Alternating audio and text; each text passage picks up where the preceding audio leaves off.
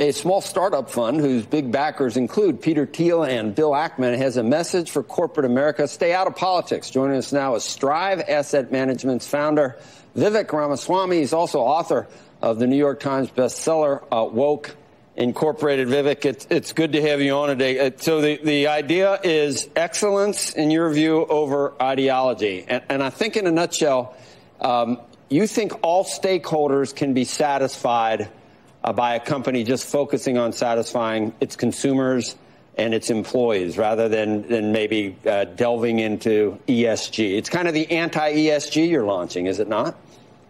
Well, I, I, find it difficult to be anti-ESG when I, when I find it very difficult to even define what ESG means today. But here's actually what we do stand for is a message to corporate America to focus on excellence over politics. If you're an oil company, be an excellent oil company. If you're a coal company, be an excellent coal company. And if you're a solar company, be an excellent solar company. But we're not going to tell, for example, oil companies not to be oil companies. And, and Joe, this relates to, I think, uh, what I call a fiduciary issue with the top asset managers in the world. And what I think is happening today is a problem where the biggest asset managers on the planet, BlackRock, State Street, Vanguard, I think they're using their clients' capital to advocate for viewpoints in the boardrooms of corporate America that most of their own clients disagree with. That's a sort of fiduciary breach. And there is so much capital concentrated in the hands of just those three firms, 20 trillion, more than the GDP of the United States, that the real problem is when that much capital is concentrated in one set of hands or in a few hands that are advocating for one ideology, we lack the true diversity of thought that the American economy depends on and that our capital markets depend on. So that's what we're hoping to fix at Strive.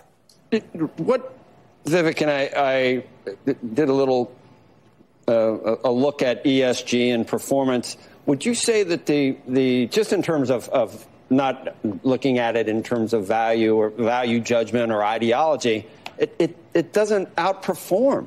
I mean, you can feel good. I get, theoretically, I guess you can feel good about it, but is, is are there studies that are in where the, we can just close the door and say absolutely ESG does not work any better than anything else and maybe works worse? Do you know? Yeah, well, look, I think there is, it's clear that there's no evidence that ESG outperforms, despite the claims made by some of the world's largest asset managers and their CEOs. There's no evidence to support that fact. Of course, people on both sides of this debate are going to cherry pick data to support their own views. But our perspective at Strive and my personal perspective is that many of the underlying companies are actually performing more poorly because of what these large shareholders, and I use shareholders in quotes because it's not really their money, it's the money of their clients, but what these large asset managers are telling these companies to do. Exxon actually suffered a, a proxy battle that caused it to reduce its oil production. I think Exxon would be a more successful company today if it were actually drilling for more oil than it was before BlackRock and engine number one told Exxon to go in a different direction. And I think that there were bad externalities for the American economy, for our reliance on Russian oil. There are geopolitical consequences that cause consumers to pay higher prices at the pump.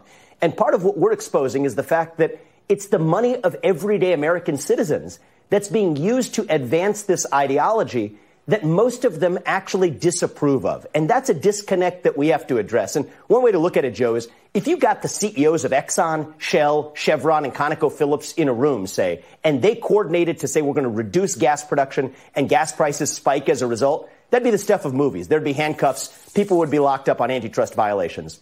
Yet today, when the largest owners of those firms effectively direct them and mandate them to do the same thing, somehow that gets celebrated as ESG instead. That's a problem. But we think the right Vivek, solution is competition. That's what we're bringing to the table. Vivek, I, I think that's. I just want to put out the devil's uh, uh, the other side of this, which is potentially a that there is a marketplace that all these funds can do what they want, and all these oil companies. I mean, I would argue to you to some degree it's a straw man, given where oil prices are today and what apparently people think oil prices are going to be over the next five years, 10 years, you would think that every oil company in, in the world would be out there uh, making new drilling plans and doing all sorts of things, but they're not. Why not? I'm not. I, I am not convinced it's because BlackRock is telling them not to. I think that there's a economic argument that they have made to themselves. Whether you think it's a good economic argument or not is a different question. But it's yeah. not solely because BlackRock is screaming at them. Well, it's not solely because BlackRock. You also have the largest other asset managers in the world basically saying the same thing. BlackRock, State Street, and Vanguard. But when your top shareholders all tell you to do the same thing, the, sh- the, the, classical dogma tells us that the shareholders ultimately have power to direct the way the firm ultimately operates. That's what we're seeing today. But the real problem, Joe, is that the people who claim to be the shareholders, the BlackRocks, the Vanguards, the State Streets, they are not the actual shareholders. It is their client bases that would want Exxon and Shell and Chevron to be behaving in different ways than they are today. That's the disconnect that I think that we need to address. And part of what we're missing here is that there is no diversity in the marketplace of ideas and capital markets today. It is one monolithic ideology, stakeholder capitalism. And our view is that clients actually deserve more choice. That if you're a client and you have an investment manager think, who allocates your money, do you think that, that yep. Why do you think that that's the case? Meaning, if, all why why do you think that these four firms, which you think control the market effectively, all have the exact same view? Isn't that a result to some degree of what they what they must think the customer wants? You would think that if the customer didn't want this, they would be doing something else. Yeah, well, so there's two reasons why. I mean, I think one is we live in a very intermediated, non-transparent financial system where most everyday clients, the firefighters, the nurses, the doctors, the entrepreneurs, business owners, whose money is actually being invested by their intermediaries, they don't know that their money actually ends up in the hands of three asset managers that vote their shares and advocate on their behalf in ways that they disagree with. So I think the non-transparency is a big part of it. And you say the market should fix this. I agree with you. That's why I think we're bringing a market solution to bear that actually gives those consumers an added choice. Now, there's a deeper reason, and I talk about this in my book. I think some of this dates back to the 2008 financial crisis, where after the 08 crisis, there was a new demand of American capitalism in this country. Occupy Wall Street was on Wall Street's doorstep, and there were certain opportunists who spotted that moment and said, we're going to jump on that and build a business with this new vision of ESG centered stakeholder capitalism. Congrats to BlackRock. They were one of those firms. They built a business over the last 10 years on the back of that philosophy. I think the people of this country are hungry for something new now. That's what we're delivering is a new focus in corporate America that recenters the focus on excellence for the customer over every other agenda, including divisive political agendas. And on a personal note, the thing that motivates me is I think that that's not only going to be good for our capital markets, I think it's going to be unifying for our corporate culture. I think it's going to be unifying for our country. And my bet is, I think a lot of customers, not everyone, we don't think every client should come to us, just like every client shouldn't go to BlackRock or Vanguard.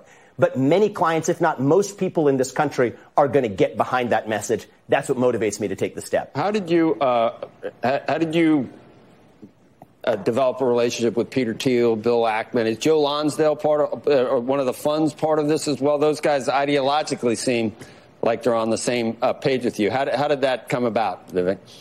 Well, look, we actually, and you mentioned some of our backers right there. That's included. The three of them are amongst others. We actually have a diverse, politically diverse, diverse in every way set of backers as well as employees at the company. But everyone is behind the common mission of reviving the unapologetic pursuit of excellence in corporate America. I think that's something we've missed with this new apologist model of capitalism.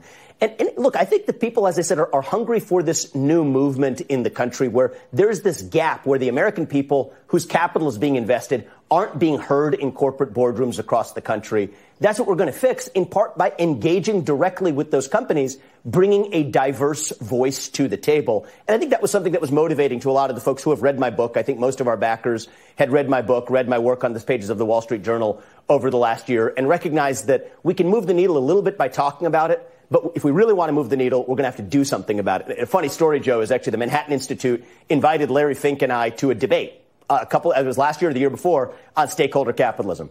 I accepted. He declined. At the end of the day, I figured that if people aren't going to be talking about these issues in the open, then the best way to solve the problem is really to give the choice to the market and to the everyday investor and to the citizens of this country. And I predict that many of them are going to be happy about the movement that we're building.